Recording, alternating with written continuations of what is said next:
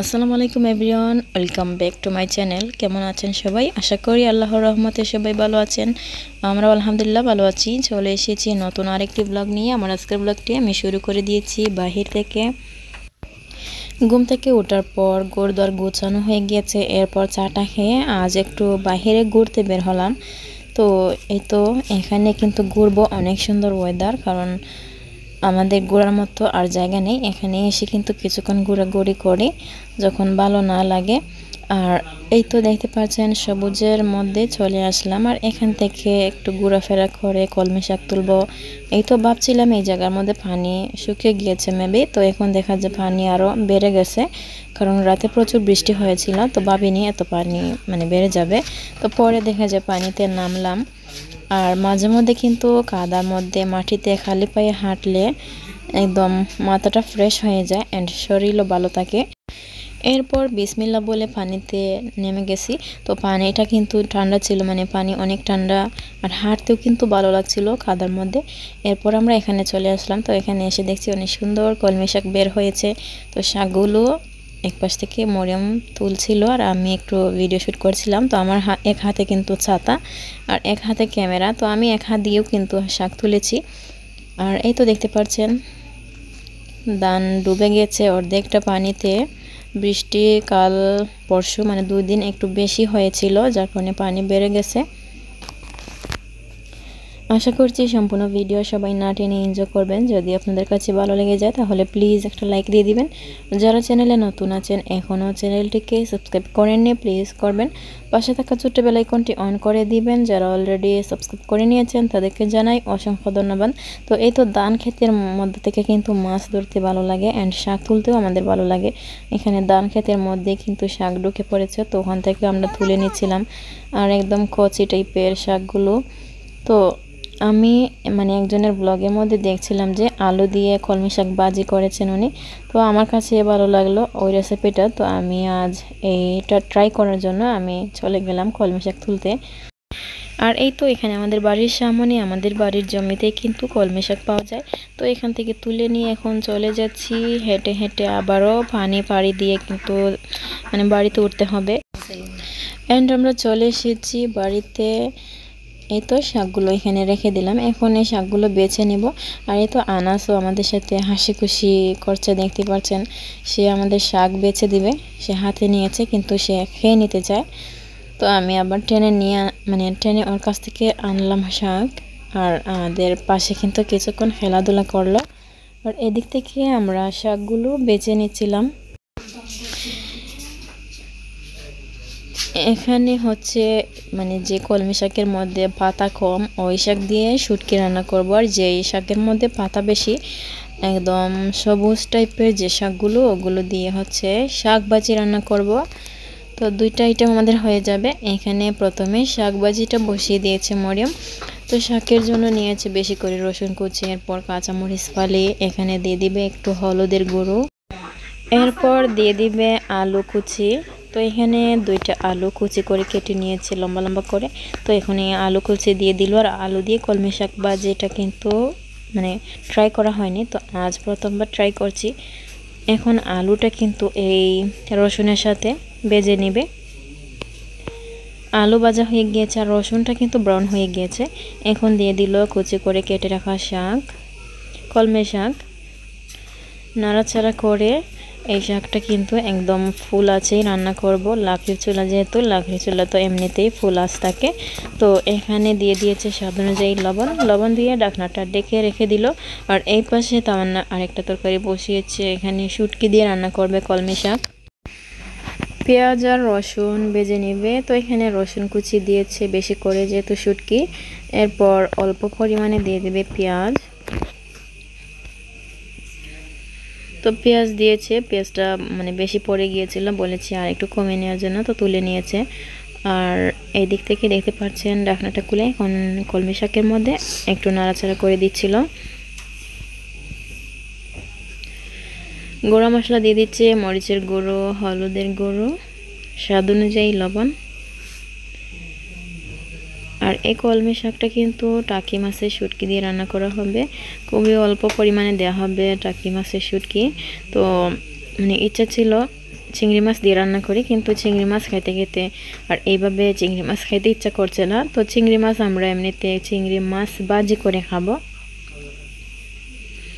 এখানে শুটকি অল্প করে দিয়েছে, খুব বেশি লাগবে না। এই শুটকির মধ্যে কিন্তু অনেক বেশি গ্রান আছে।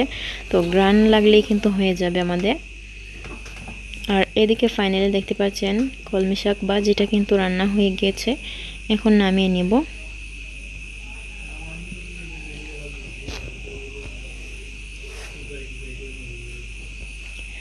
শুটকি কষিয়ে এখানে দিয়েছে কলমি শাক। তো এই শাকগুলো কিন্তু একটু বড় বড় টুকরো করে কেটেছি।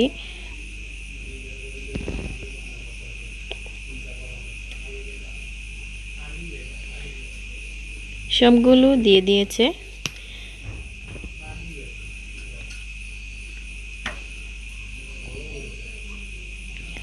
আর এই পাশে ছোট ছোট চিংড়ি মাছ বের করে নিয়েছে, তো এই চিংড়ি মাছ দিয়ে হচ্ছে চিংড়ি মাছ বাজি করবে। এখানে মরিচের গুঁড়ো, হলুদের গুঁড়ো দিয়ে দিবে লবণ। এরপরেই তো এভাবে এমনিতে কিন্তু জাকিয়ে ম্যারিনেট করে নিয়েছে। এরপর গরম তেলে দিয়ে দিল, তো এই চিংড়ি মাছ কিন্তু এভাবে ক্রিস্পি করে বেজে আমরা খাব। শাক সাথে চিংড়ি মাছ ভাজিটা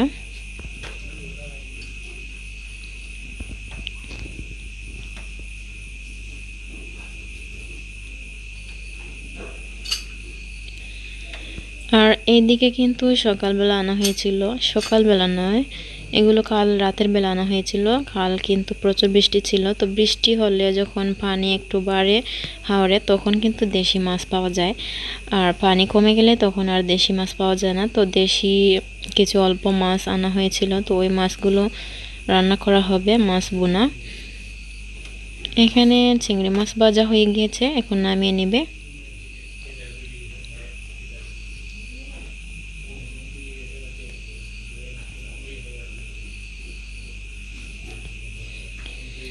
একদিক থেকে নামাচ্ছিল আর অন্যদিকে আমি খেয়েও নিচ্ছিলাম। এমনিতেই কিন্তু এগুলো মজা লাগছে আর গরম গরম ভাতের সাথে খুবই টেস্টি লাগবে। আবারও ফ্রাই প্যান বসিয়ে নিয়েছে, তেল গরম করে। এখন এখানে ছিল কই মাছ, তারপর মেনি মাছ। তো দুই রকম মাছ মিলিয়ে রয়েছে। তো এই মাছগুলো এখন বেজে নেবে বেজে পরে মাছ বোনা করবে।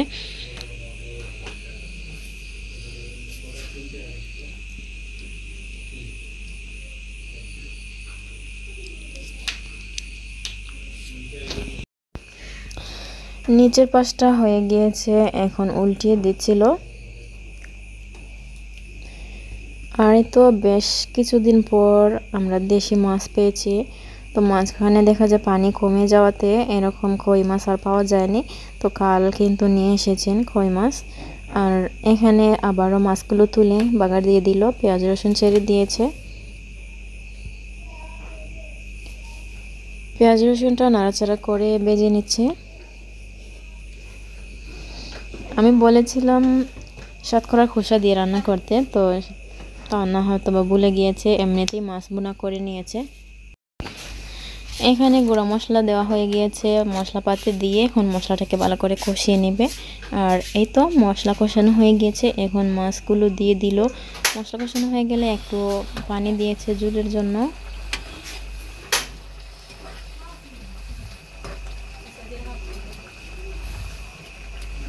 আমাদের রান্নাবান্না শেষ। এখানে মাছ বোনা রান্না হয়ে গেলে রান্নাবান্না কমপ্লিট।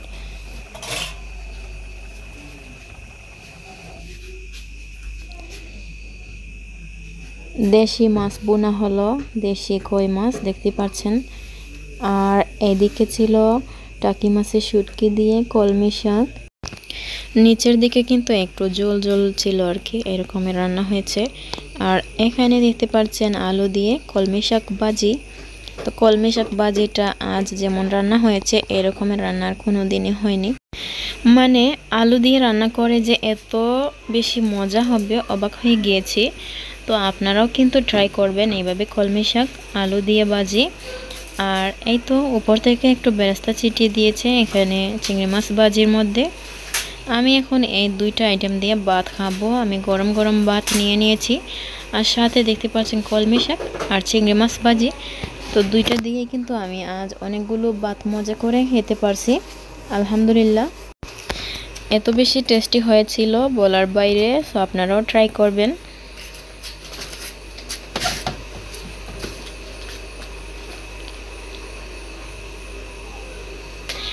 আজকের শাকবাজিটা সবার কাছে ভালো লেগেছে। বিকেলবেলা শুরু হলো বৃষ্টি, দেখতে পাচ্ছেন বাহিরে কীরকম বিদ্যুৎ চমকাচ্ছে আর সাথে বৃষ্টি। তো প্রথমে বাতাস আসছিল। বাতাস আসার পর দেখে যে আস্তে আস্তে মানে বৃষ্টি নামছে। তো মানে গরম লাগছিল তখন। তো বাতাস আসার পর কিন্তু গড় দোয়ার ঠান্ডা হয়েছে। কারেন্ট কিন্তু চলে গিয়েছে অন্ধকার অন্ধকার। তো আমি একটু ভিডিও শ্যুট করছিলাম, অনেক সুন্দর বৃষ্টি পড়ছে আর মাসাল্লাহ দেখতে খুবই ভালো লাগছিল আমার।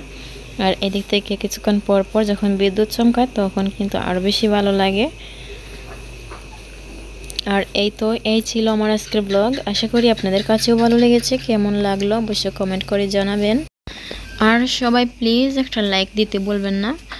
ভালো থাকুন সবাই, সুস্থ থাকুন। দেখা হবে আর একটা নতুন ব্লগে আজকের মতো এখানেই বিদায়। আল্লাহ হাফেজ। আসসালামু আলাইকুম।